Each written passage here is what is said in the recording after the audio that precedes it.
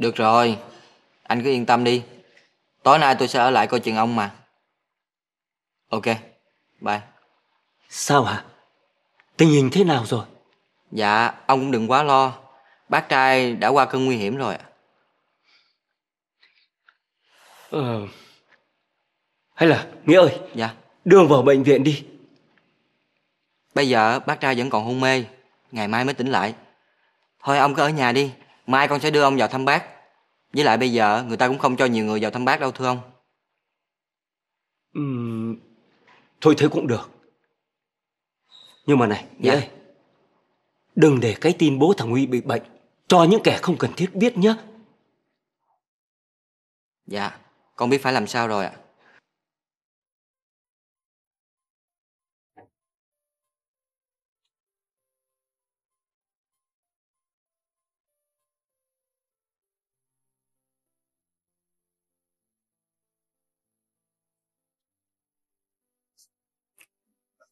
Mẹ, Con nói khẽ thôi, để cho bố nghỉ.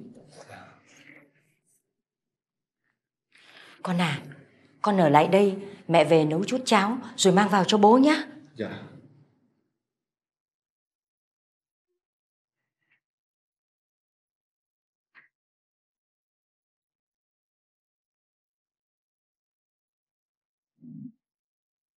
Con Con ơi Dạ, con đây bố. Chị Chị ơi chị Chị ơi. Chị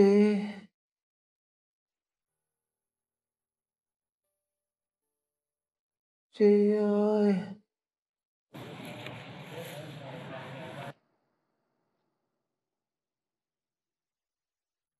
Bây giờ con la nhân viên của con cũng không được sao bố? Nếu anh ta làm con trướng mắt, con sẽ đuổi về cái anh ta luôn đấy. Con muốn đuổi ai thì đuổi. Nhưng mà con không được đụng vào cậu Trí. Bà cấm con đấy. Con xúc phạm người ta như thế đủ rồi. Mau xin lỗi cậu đi. Cái loại cặn bã như nó ấy, không đáng để nhận lời xin lỗi của con đâu. Không!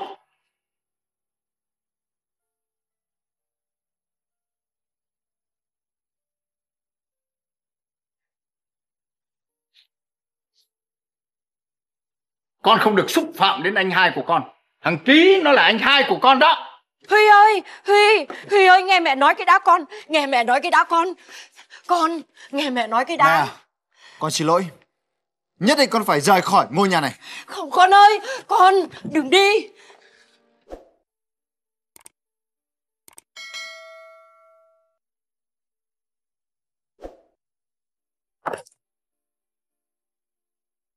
Hôm nay mày mà bước chân ra khỏi cái nhà này thì đừng bao giờ mày học trở lại đây nữa nghe chưa? Bố yên tâm. Con không làm choáng chỗ con trai cưng của bố đâu. Mày Ông, ông ơi, ông, Ôi tôi giời xin ông, ông ơi tôi xin ông mà. bà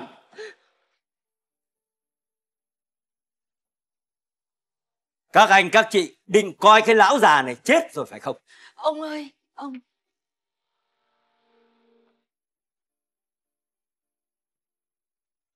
Còn anh nữa, xách đồ lên cho tôi. Và từ nay, nhớ đừng để tôi nghe thấy ba chữ bỏ nhà đi. Anh rõ chưa? Dạ. Còn anh, đuổi ngay cái thằng con hoang ra khỏi công ty ngay cho tôi. Tôi cấm anh từ nay không được tìm gặp hai mẹ con đó nữa. Hiểu chưa? Thưa bố, con chính thức nhận lại thằng Trí đấy. Anh... Còn con nữa. Bố thừa biết là con lo cái tài sản này bị chia đôi chứ gì. Con yên tâm đi. Bố sẽ để lại tất cả cho con. Mà con cũng không cần phải đi bỏ nhà này mà đi đâu nữa hết á. Người ra đi chính là bố đây này.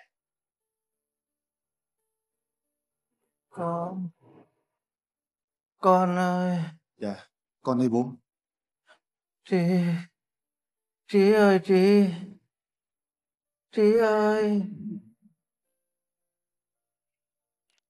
Cà phê đây. Cảm ơn cậu. Cả đêm anh không ngủ rồi. Sao không ở nhà nghỉ đi? Vô đây làm gì?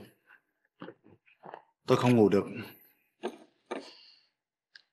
Bác đã không sao rồi. Anh cũng đừng có lo quá.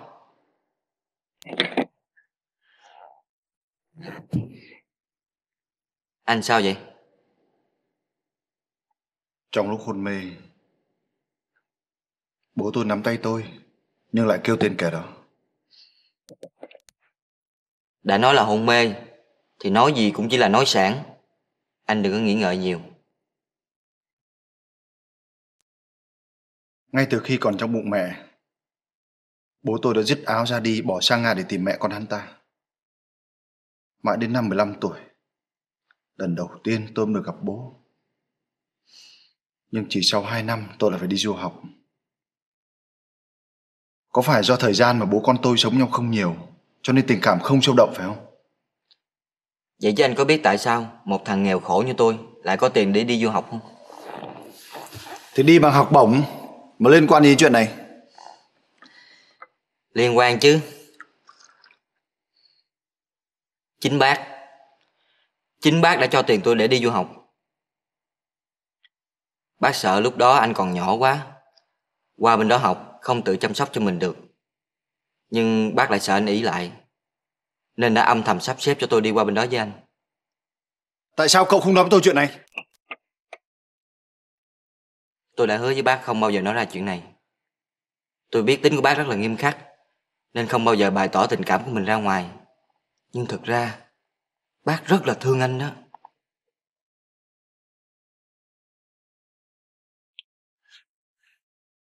Có lẽ trước đây đúng là như vậy.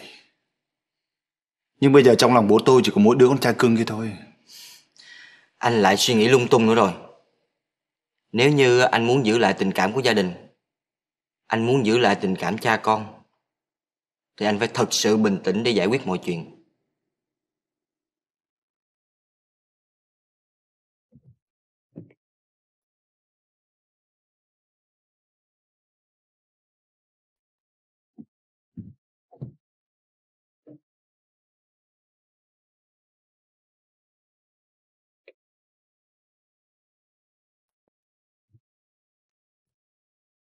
Sao cậu lại ở đây? Sao không thấy bố cháu đi làm? Cháu gọi điện thoại cũng không được. Anh chỉ tôi đi ra nước ngoài chơi vài bữa rồi. Đi nước ngoài. Sao lại đi đột ngột như vậy? Có cái gì đâu mà đột ngột. Chuyện anh chị đi nước ngoài đã chuẩn bị từ lâu rồi.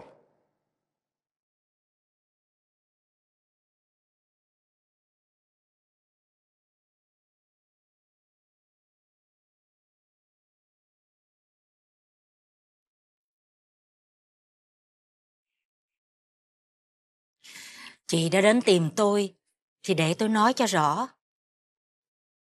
Tôi không hề có ý nghĩ buộc ông ấy phải nhận lại thằng Trí để tạo ra sóng gió làm gì.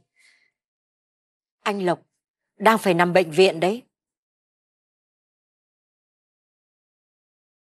Tại sao lại như vậy? Ông có sao không chị? Ông ấy bị đau tim, nhưng bây giờ đã tỉnh rồi. Mô Phật. Chị và cháu nên đến thăm ông ấy. Chị...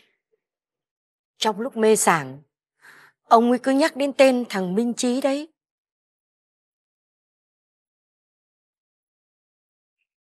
Anh ạ, anh ngồi dậy uống nước nhé. Thôi thôi thôi, tôi không uống nữa đâu.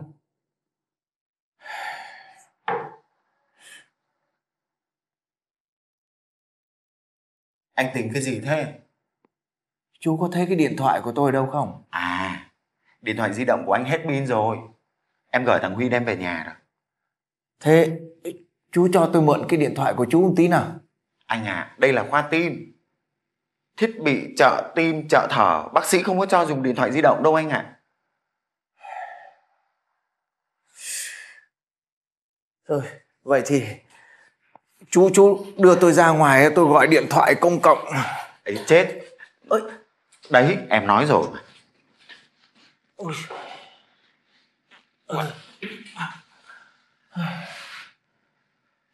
Bác sĩ bảo anh là nghỉ ngơi. Anh mà làm gì là có chuyện đấy. Mà anh gọi cho ai mà gấp thế? Chị ạ. À, chú đã cho anh uống thuốc chưa? Dạ rồi chị ạ. Tốt lắm. Bây giờ chú chở chị đi ra chợ mua ít trái cây đi. Trái cây có rồi chị ạ. Mấy thứ đó chua lắm. Thế ai ở đây với anh? Ông à, ông chịu khó ở một mình một lát nhé. Tôi đi chợ, ừ, tôi sẽ nói với cô y tá vào trông ông nhé. Thôi được rồi, hai người cứ đi đi. Anh nằm nghỉ nhé.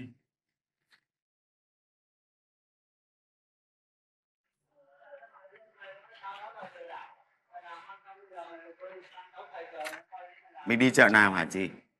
Chợ nào có bán trái vải ấy? Mùa này làm gì có vải? Không có cũng phải tìm cho có, anh chú thích mà. Thế thì đi cho nhanh.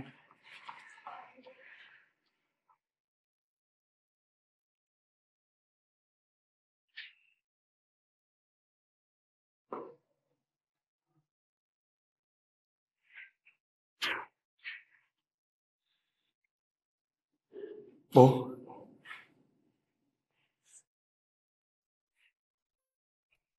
Bố có sao không bố? Ủa, không sao đâu. Ai báo cho mẹ con bà biết đấy. Là chị Vân. Bố à Có phải vì chuyện của con mà bố ra nông nổi này không? Đừng có suy nghĩ lung tung. Cái bệnh tim nó muốn phát lúc nào thì nó phát thôi mà.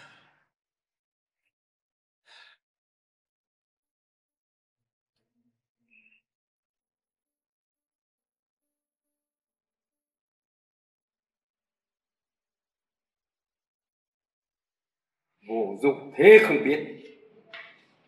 Chỉ có cái chuyện ngồi yên ở đó mà làm cũng không xong. Cháu xin lỗi. Chị có lỗi cháu đi. Cháu có nằm mơ cũng không nghĩ được là chị đưa hai mẹ con ấy vào gặp anh.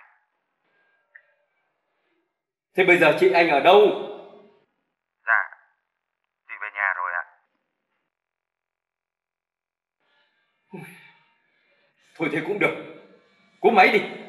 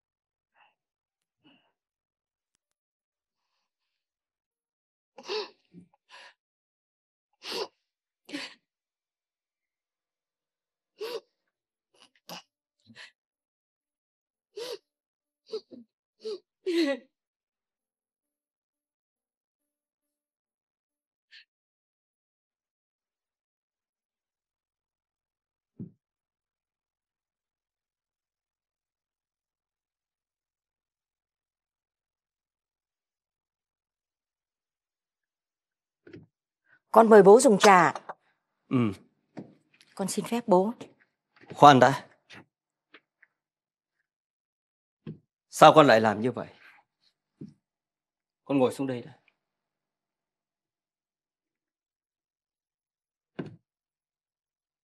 Con trả lời bố đi Bác sĩ nói không nên để nhà con xúc động quá, rất nguy hiểm. Lúc này, sức khỏe của chồng con là trên hết. Như vậy thiệt thòi cho con quá. Con xin phép bố cho nhà con nhận lại thằng Trí ạ. Nếu trước nhận con Sau nhận vợ Thì con tính ra sao? Nếu vậy thì chồng con với con không có duyên vợ chồng nữa. Đây là gia đình của con. Con phải bảo vệ đến cùng. Tại sao con lại buông xuông đi một cách dễ dàng như vậy Thưa bố, buông cũng là một cách giữ đấy bố ạ. Anh Lộc ạ, thật không ngờ là anh đã tìm lại được mẹ con chị ấy. Đúng là trời đã cho tôi cơ hội để chuộc lại lỗi lầm với mẹ con họ. Thế còn chị Vân? Ôi giời ơi. Bố tôi cho chú Minh giám sát tôi suốt cả ngày lẫn đêm. Không có cho thằng Chí nó vào thăm tôi. Thế mà bà ấy lại tìm cách bà ấy đưa được thằng Chí lại cả bà Nhàn vào thăm tôi nữa. Chị Vân đúng là người phụ nữ rộng lượng đấy. Anh nói đúng đấy. Tôi mắc nợ với bà ấy rất nhiều. Nhưng mà tôi sợ rằng cháu Huy ấy, nó không thông hiểu được như vậy. Ôi trời ơi, không hiểu làm sao mà cái thằng Huy nó ghét thằng Chí quá.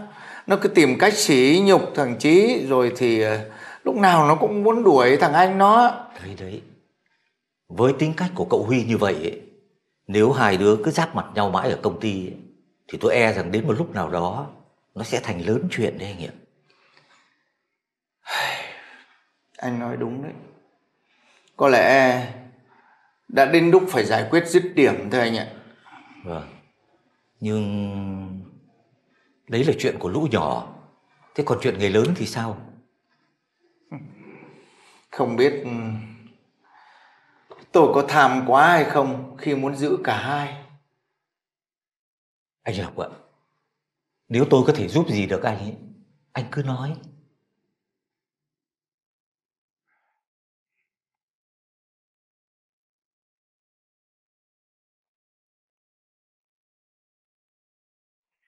Bác có đi thăm bố con. Dạ, con có nghe mẹ con nói ạ. Bác có gặp anh hai con ở đó. Con không có anh hai đâu ạ.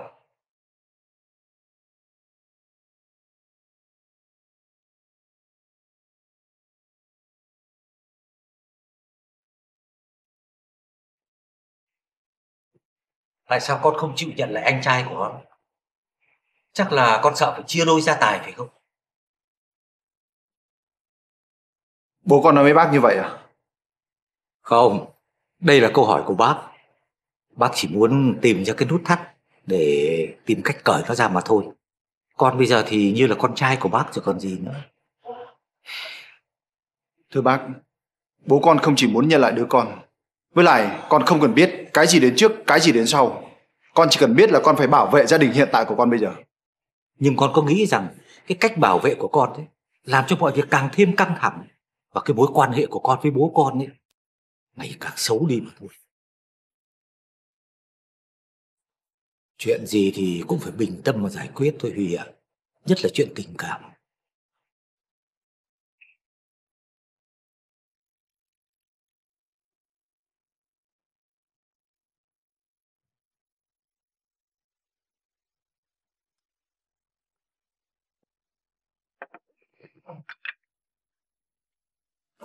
Bác sao rồi anh?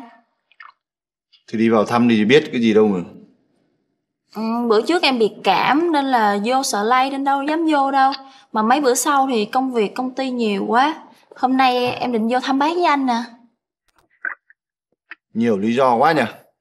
à, Sao vậy? Sao lại gắt gỏng với em? Em làm sao có được thì làm.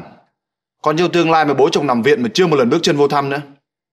Thì người ta đã nói là hôm nay người ta vô mà Một mình mẹ trong đó rất là cực. Em xin nghỉ một tuần vào trong đó phụ mẹ đi. Anh à, em đâu có biết chăm sóc người bệnh đâu Sao anh không kêu dì Bảy hay là muốn thêm một y tá riêng vô đi Dì Bảy ở nhà chăm sóc ông. Còn nếu em không muốn vào viện thì ở nhà chăm sóc ông nhé. Sao anh cứ làm khó em vậy?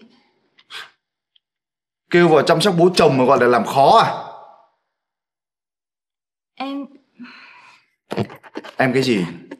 Người phụ nữ bên cạnh anh không nhất thiết phải là vợ hiền, nhưng phải là dâu thảo. Nếu mà dâu Thảo theo định nghĩa của anh á Phải hầu hạ ông anh và ba mẹ anh Thì chắc có lẽ là em làm không được đâu Nếu như vậy thì không bao giờ cô trở thành vợ tôi được đâu. Ok, không làm thì không làm Nhưng mà anh nên nhớ Ba em đang hỗ trợ cho dự án của anh đó Anh bỏ em có nghĩa là bỏ luôn hỗ trợ.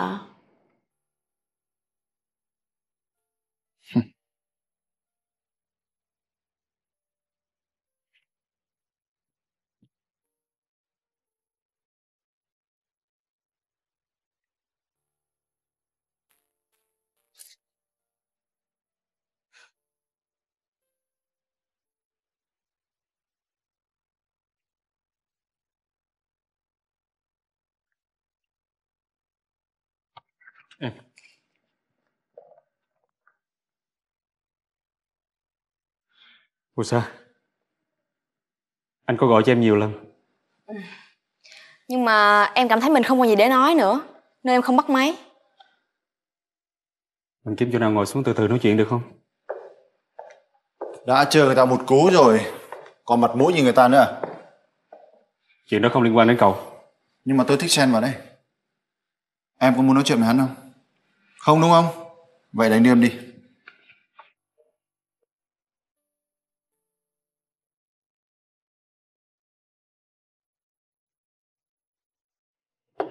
Hôm nay sao tự nhiên lên công ty vậy?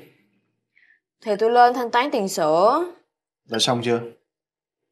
Rồi Thôi, đừng có buồn nữa. Thôi bữa nay tôi có tiền nè Để tôi ba ăn trưa nha Lỗ chổng vó lên như lời lắm ý, bởi đặt ban trưa. Để dành tiền đóng học phí đi. Đấy, mong được. Hôm nay cô phải trả tiền ăn trưa đấy. Bởi vì nhờ có tôi mà hôm nay cô mới thoát khỏi tiền khốn nữa đâu. Chứ không phải anh lấy tôi ra chọc tức anh Trí hả Chầu này anh trả đi Đúng là con gái mà tính toán chi ly từng tí một không. Cũng tùy người thôi Đối với người mà mình ghét hả Một đồng cũng không cho Còn những người mình yêu Cho đi bao nhiêu cũng không bao giờ thấy tiếc. Cả ba xa chứ có phải hến đâu, xong rồi xến. Không làm thì không làm. Nhưng mà anh nên nhớ Ba em đang hỗ trợ cho dự án của anh đó. Anh bỏ em Có nghĩa là bỏ luôn hỗ trợ. Ừ À, à, tôi hỏi này, có phải là khi hai người yêu nhau thật lòng thì họ không còn tính toán gì với nhau nữa phải không? Tôi tưởng anh có người yêu rồi Thì vụ này anh phải rành hơn tôi chứ Như vậy là con cá ba sa này chưa có ai vớt à? ừ, Tại tôi chưa có chịu ưng ai hết Chứ không phải tên khốn nó đang có ý gì với cô đúng không? Không dám đâu Tụi tôi chỉ là bạn bè thôi à Chứ có gì đâu Tốt. Với cái ngữ ấy, ấy phải tránh càng xa càng tốt. Ừm, để tôi xem nào. Với cái mẫu người yêu lý tưởng của cô phải như thế nào nhỉ? Nói cho tôi biết đi. Biết đâu tôi lại giới thiệu cho cô một người tốt tốt thì sao? Mẫu người của tôi hả Cũng bình thường Không có gì ghê gớm hết đó Thì à, đẹp trai à, Có học thức Rồi à, có tính kiên nhẫn Tốt bụng Rồi à, biết quan tâm chăm sóc tôi à, Khi tôi cần á, thì à, luôn ở bên cạnh tôi Với lại à, biết chơi nhạc cụ rồi đó Như đó thôi Hey, xem nào hình như những cái tiêu chuẩn mà cô đề ra 1, 2, 3, 4, 5, 6, 7, 8, 9, 10, 11, 12 sao giống Quang Huy ta? Đừng có nói với tôi là cô đang thương thầm trộm nhớ Quang Huy đấy nha. Ừ, Nói gì vậy?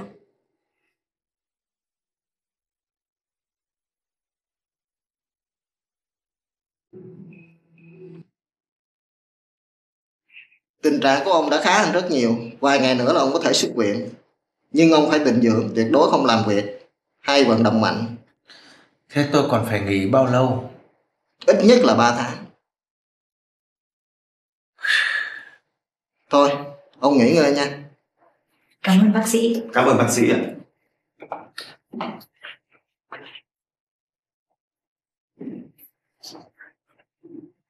Dạ, thưa bố. Thưa gì? Chào con. Con ở đây chơi với bố con đi. Để dì mới lại chú ra đóng tiền viện phí. Dạ thôi, gì để con làm cho. Thôi, tôi với cô đi. Cậu ở lại nhé. Dạ.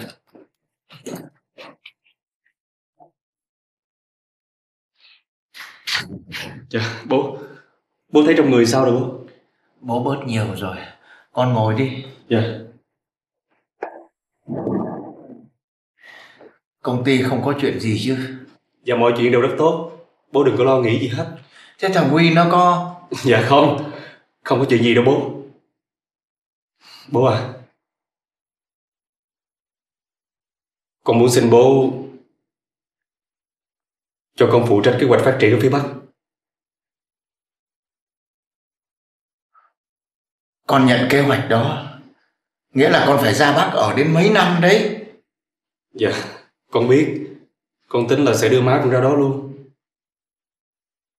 Con làm như vậy là để tránh thằng Huy có phải không? Bố à Con không muốn nhìn thấy bố phải khó xử, Không muốn nhìn thấy bố buồn. Mà với lại à, Hà Nội với Sài Gòn cách nhau có 2 giờ máy bay, Bố muốn ra thăm con với má con lúc nào mà không được. Bố cho phép con nha bố. À, chú. Dạ, chú. Tới chăm sóc bố hả? Dạ. Thôi, con đi về làm việc đi, rồi chuyện đó bố sẽ trả lời con sau. Dạ, bố nghỉ ngơi đi bố.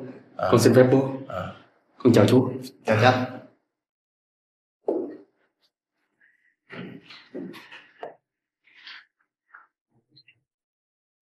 Anh gọi em có chuyện gì không ạ?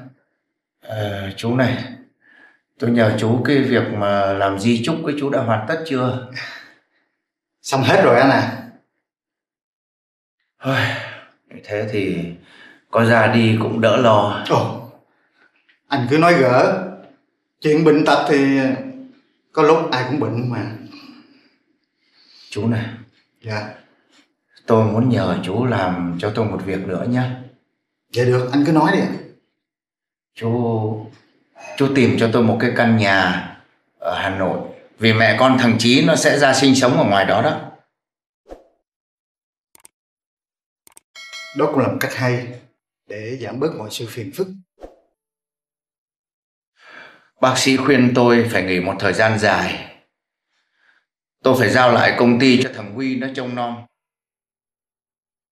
Cái việc mà đưa thằng Chí ra ngoài kia cũng là một cách tốt để cho anh em nó khỏi xảy ra chuyện.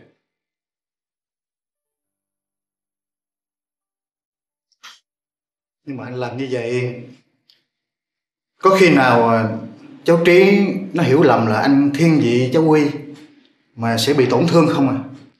Thằng Chí là người hiểu chuyện. Với lại chính nó đề nghị tôi cho nó ra Bắc đấy chứ. Tôi phải dồn sức vào để đầu tư cho cái dự án này để cho thằng Chí nó lập nghiệp. Nó cũng xứng đáng được hưởng cái phần đó thôi chú ạ. Vậy anh cũng sẽ ra ngoài đó luôn à? Có lẽ là vậy.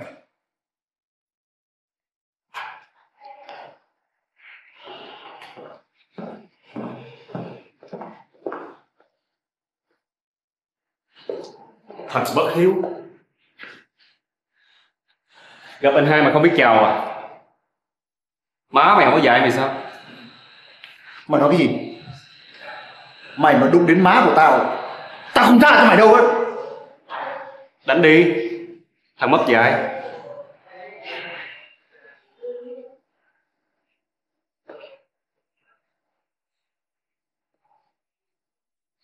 Sao vậy? Không dám hả? Đồ hèn. Mày tính khiêu khích tao để tao đánh mày để cho bố nhìn thấy gì Tao không để cho mày được toại nguyện đâu.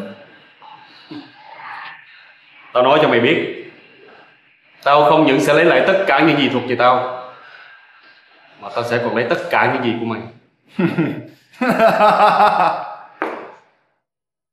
Để xem mày có đủ bản lĩnh hay không. Huy Anh lạnh của em. Em không được hỗn danh như vậy. Huy Huy Huy Huy. À, à.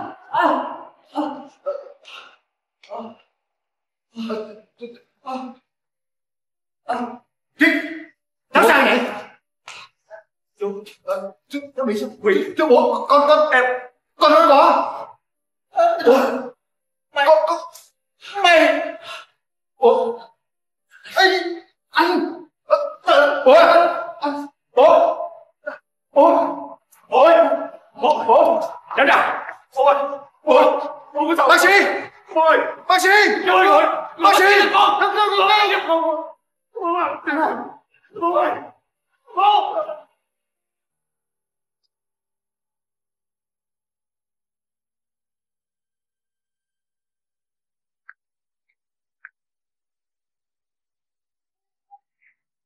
Nãy bố cháu còn đang khỏe cơ mà.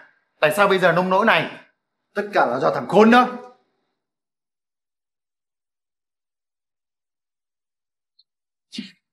Tôi đã dặn rất kỹ là không được để bệnh nhân xúc động mà. Tại sao gia đình lại không chú ý hả? Xin lỗi bác sĩ, từ nay chúng tôi sẽ hết sức chú ý ạ. Ông ấy đang rất yếu. Bà không nên để ông ấy nói chuyện nhiều. Dạ dạ. Tôi biết phải làm gì rồi ạ. Cảm ơn bác sĩ. Cảm ơn bác sĩ. Chị, anh sao rồi chị? Đã tỉnh rồi. Bác sĩ nói đã qua cơn nguy hiểm. Nếu vậy để con vào thăm bố ạ. Đứng lại đấy.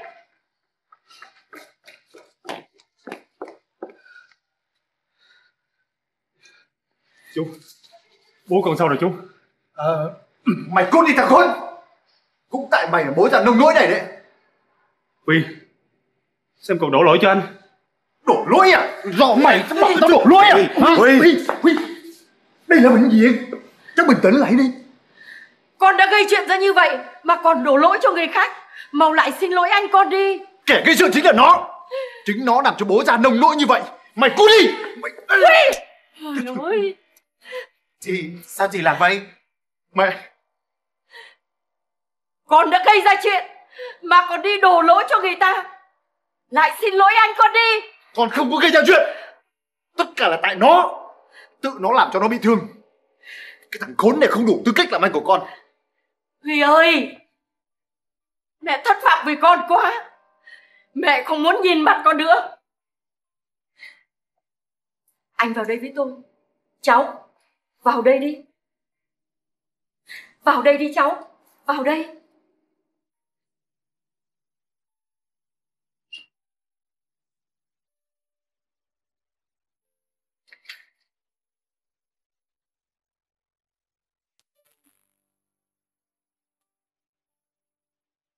Huy! Huy!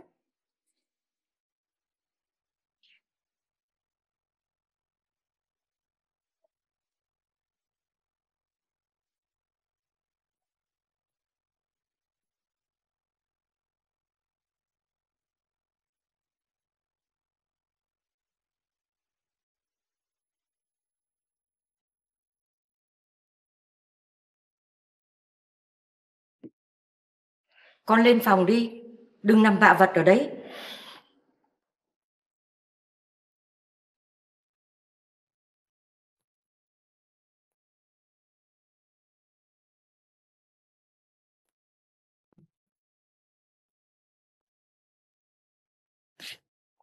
Mẹ, Con không có đánh thằng khốn nạn đó Con không cần ai tin, Kể cả bố nhưng mà mẹ phải tin con Mẹ chỉ tin là bố con không đi nói bậy cho con thôi. Nếu vậy Thì mẹ về mẹ hỏi bố xem là cái tay nào có đánh thằng con trai cưng của bố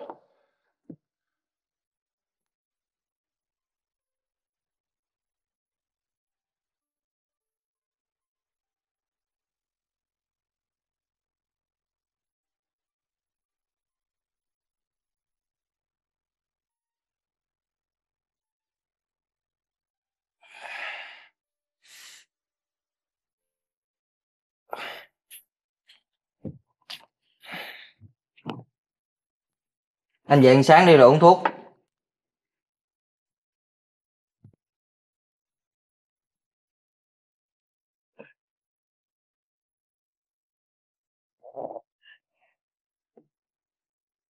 Ủa? Sao tự nhiên ở đây?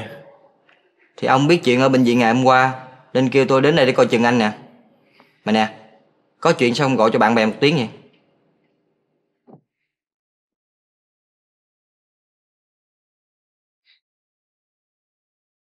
Tôi muốn được yên tĩnh một mình. Để suy nghĩ xem tại sao mình thua thê thảm như vậy. Đến ngay cả mẹ tôi còn bênh thằng đó.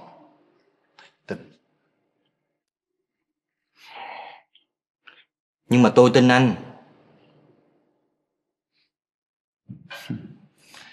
Cũng may là còn có thằng bạn già giống như cậu ấy.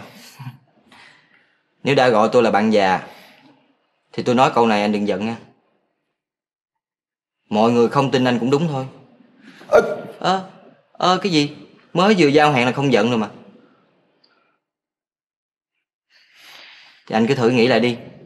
Trước mặt mọi người Lúc nào anh cũng là người nóng giận Chửi rủa. Còn anh ta lúc nào cũng chịu đựng Nhịn nhục.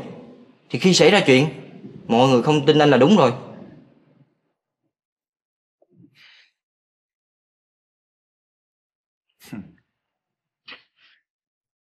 Nếu như hắn muốn diễn kịch như vậy, tôi sẽ diễn kịch theo hắn. Tôi thì lại thấy lạc mềm sẽ buộc chặt. Cứ như bác gái, lấy tấm lòng độ lượng của mình để đối xử với tất cả mọi người là cách hay nhất.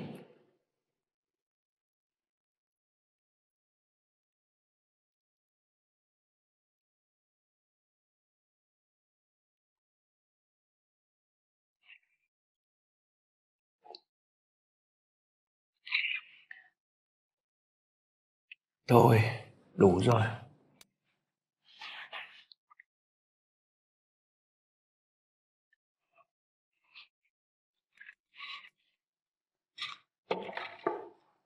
Ông uống chút nước đi.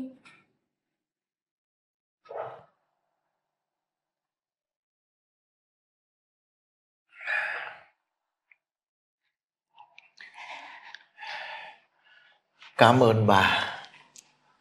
Vợ chồng với nhau, cảm ơn cái nỗi gì?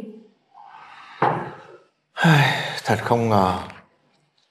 Bà không những không giận tôi, mà bà còn chấp nhận cả thằng Chí. Tôi làm vậy để làm gương cho con. Sự thù ghét chỉ càng mang lại đau khổ mà thôi. Chứ có lợi ích gì? Nhưng mà con nó có hiểu hết được tấm lòng của bà đâu. Bố thằng Huy này có thật là tận mắt ông nhìn thấy thằng Huy nó đánh thằng Chí không?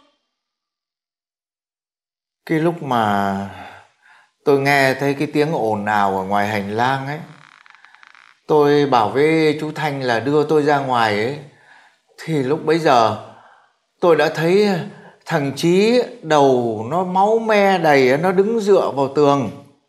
Thế không phải thằng Huy đánh nó, thì chẳng lẽ nó lại tự đập đầu nó à?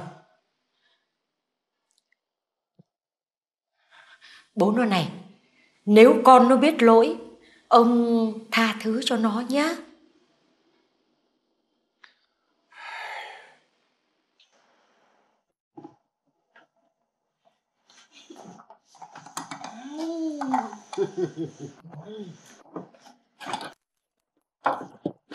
À mà nãy giờ dọn phụ con quên hỏi nha. Bữa nay có vụ gì sơm tụ vậy tiếp chú con á với lại ngoại con á à, đòi à, tổ chức liên quan ăn mừng à, một tháng à, tổ chức theo sản xuất tiêu chuẩn gáp. Vậy mà cũng là lý do nữa hả Thiếp ừ. có bữa ăn chung cho nó vui cũng được sao mà. À, à, mà nè bé ba nó nói chừng nào nó về con? Dạ nó nội chú má không có về. Ủa, về nè nó về rồi à, mà một à dạ. À, út nam. Dạ. Bé phúc dạ. ăn cơm ăn cơm ăn cơm. Thứ Tía không có về. Ừ. Ồ con chào chú. Trời trời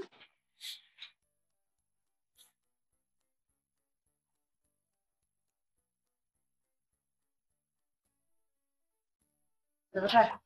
Hôm nay làm gì mà, mà, mà ăn mặc trịnh trọng dữ vậy nè? Chú sáu. À. Ủa? Có phải đó nè. Con thương sao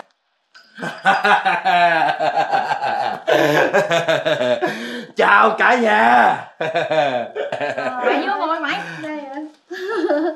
Hả có vụ gì vậy anh sáu chào chị năm. Sao là như vậy. Hôm nay ngày lành tháng tốt. Tôi đưa thằng điền, cháu của tôi qua đây. Xin phép chị, vợ chồng một cho phép tác hợp cháu tôi làng điền. Với cháu gái của chị con gái của vợ chồng một nè làng bé ba đây. Chàng đấy ơi Chú Sáu à, chú nói gì con không hiểu gì hết trơn à. Sao vợ vợ đứng im đứng im.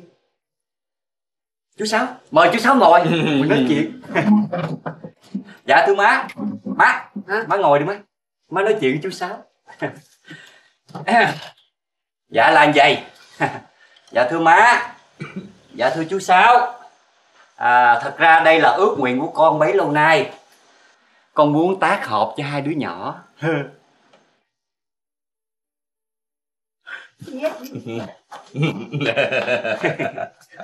Cho nên á à, ngày hôm nay chú sáu qua đây. Con xin nhận lời luôn bữa nay à, là bữa đính hôn của hai đứa nó. Dạ bây giờ mình chỉ chờ à, bé ba nó tốt nghiệp. Cái mình làm đám cưới luôn. Điền rót rượu mời đi con. Dạ dạ.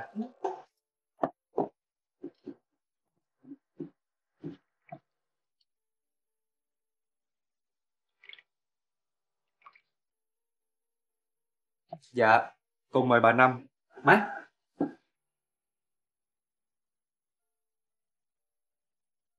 cô mời ngoại. Con mời chú. Ừ cảm ơn con. Dạ con mời thím ạ. Dạ dạ.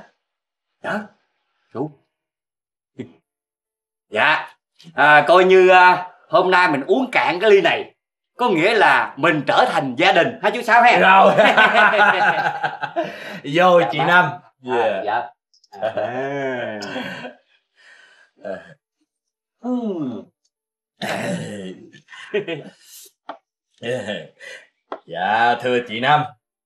Còn đây á là cặp nhẫn của à, đôi trẻ. Dạ. nhẫn điền mày đeo uh, nhẫn cho bé ba đi Điền. lẹ lên Dạ, thưa bà Năm, thưa ngoại, thưa chú, thưa thím. Con xin lỗi. Con không thể cưới bé ba được. Ừ. Tiền Tiền à.